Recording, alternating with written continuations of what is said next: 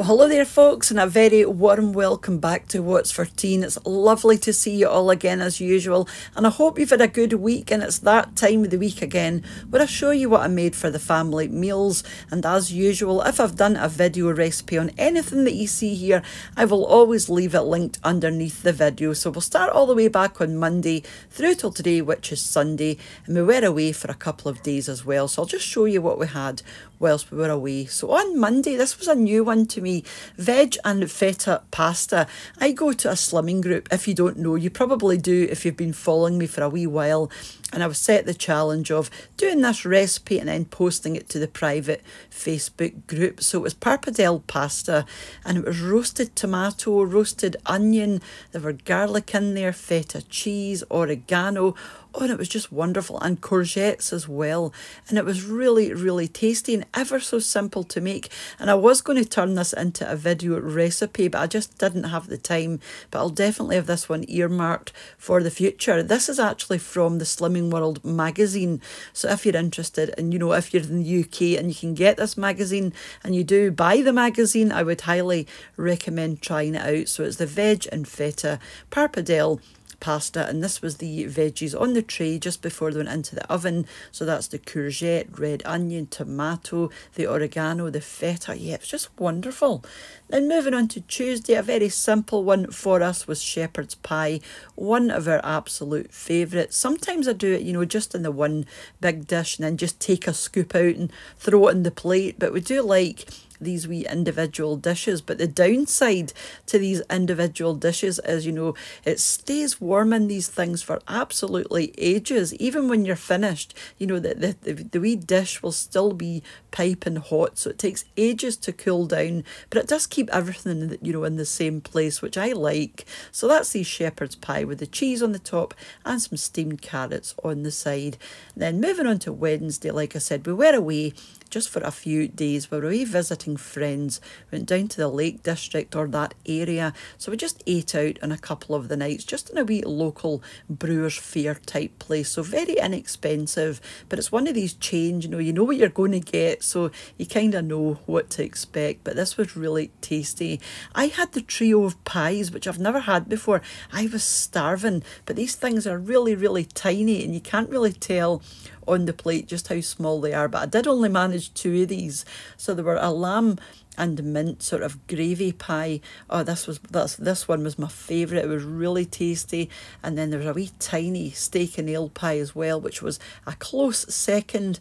And then they also had a chicken tikka pie as well. I didn't manage that one, but I did want to let you see what it was like inside. And Mr. What's for Tea had the cheese and bacon burger, but he got his without the bacon because he's not keen on bacon and a burger. So it was basically a cheeseburger and chips. And this was mine here on the menu. You could have had this with mash, but I just decided to go with the chips because I like chips and gravy together. They also done puddings and starters and different things as well, but just could not manage anything else. These wee drinks as well were really, really good. I had the cherry and vanilla soda. Mr. What's for Tea had the raspberry and blood orange, and they were both really, really nice. It was a bit of a mocktail, I suppose. I've never actually tried these before, and I, again, I will be trying to recreate those with a really nice setting right next to the lake. And there were wee bar or quite big barge boats on the lake as well. So yeah, just fab, very relaxing. And on Thursday, obviously, we were still away and there were a chippy, a traditional sort of sit-in chip shop type place called the Old Keswickian, and this place is legendary, you know, round about these parts. So we just had to give it a go. Wasn't sure we were going to be able to get a table, but we managed to just walk in and get a table, and we both went for the fish of the day, which happened to be haddock, which is our favourite fish of the day. and we had chips and a wee wedge of lemon as well and I also had the curry sauce and this was absolutely delicious and really good value for money as well. And this was us. On the way back always like to try and catch this sign on the way back. So it's just welcome to Scotland and you just feel as though you're coming home. And on Friday, it was quite a warm day on Friday. The sun was shining. So I didn't want anything too heavy. So we fancied something kind of salady. So this is a cheese and bacon quiche with some side salad on the side and just some wee potato croquettes as well. So we just started off with the lettuce or the salad leaves, some baby plum tomatoes, and just a couple of slices of cucumber. That's that cheese and bacon quiche there and then just some potato croquettes just for a change from the chips that we would normally have. And I did have to use them up. Just a wee bit of olive oil and black pepper on the salad just keeping it simple. And this was lovely and light you know for quite a warm day. And we're definitely getting into the brighter warm days which I love.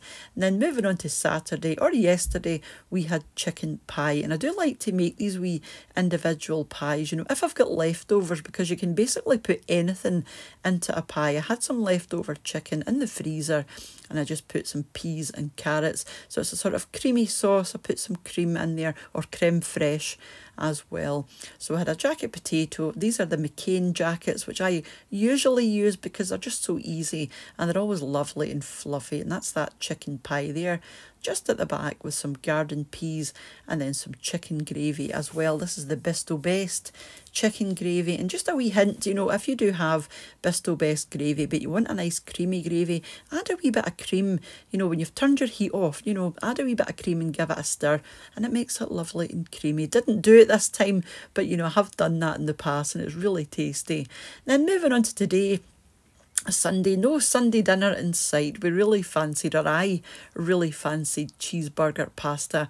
I haven't had this for absolutely ages, you know, and it's well on plan with the Slimming World plan that I am following. So yeah, this if this feels like a wee treat to me, but actually is very much on plan. And I do have a video recipe for this cheeseburger pasta bake. I will leave in the description box underneath the video. And this was it here, just out of the oven. And I did freeze most of this because like I said, this one was just for me and Mr. What's for tea fancied macaroni cheese. So I also made macaroni cheese, just the same pasta, obviously, macaroni with a different sauce. So this is a, just a standard cheese sauce with some green beans on the side that I had to use up, with some grated extra mature cheddar on the top with a wee bit of black pepper as well. And he really likes macaroni cheese. I quite like it, but not as much as he does. I much prefer the cheeseburger pasta. So that was everything that we had this week. And a huge thank you, as usual, to the supporters of the channel over on my Patreon page